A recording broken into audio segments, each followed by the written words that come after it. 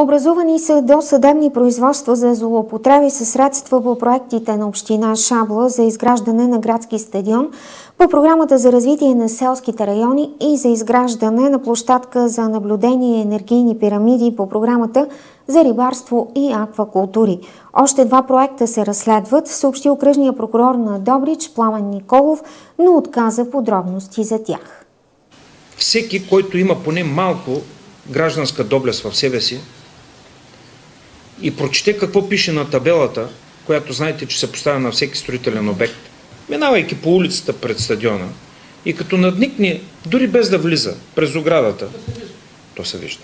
Няма как онова, което е сътворено вътре, да струва 5 милиона и 600 хиляди.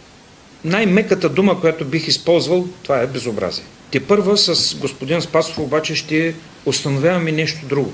Дали някой в районното управление на МВР в Шабла е написал поне един ред.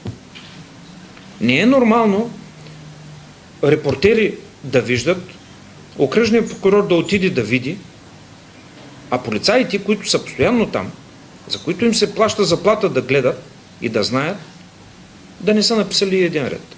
Бъдете убедени, че това няма да се размине без последици на служителите, които носят отговорност за това нещо. По другия проект, площадка за наблюдение и парк за енерги... с енергийна пирамида. Знаете ли каква, какви хубави брегови съоръжения можеше да се направят с тия пари? Около 260 хиляди. И се пилеят пари за буквално глупости.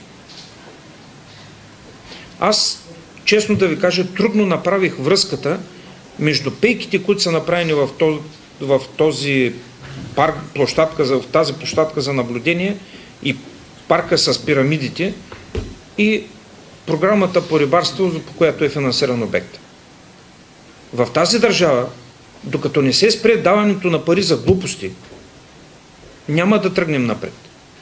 За този проект заповедта беше е, получена направо от главния прокурор на държавата. Половин Румъния се направи селската на Половин Румъния, Румъния на разбра какви глупаци сме.